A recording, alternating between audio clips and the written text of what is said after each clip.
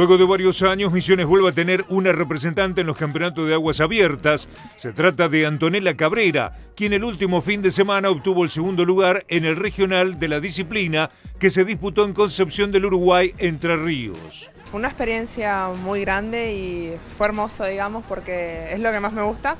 Y costaba mucho la parte donde estaba en contracorriente, pero era donde yo podía sacar mucha ventaja. Terminé la carrera y quedé más que feliz. No esperaba porque fue la segunda fecha, fue la segunda vez que participé en aguas abiertas y no sabía cómo me iba a ver. Posadeña, con tan solo 17 años, ha tenido un gran inicio del año 2018 y ya se prepara para sus próximos objetivos. Poder quedar entre las tres mejores en los Juegos de Playa, ese va a ser mi objetivo. Y en diciembre empezaría el regional de Corrientes de nuevo.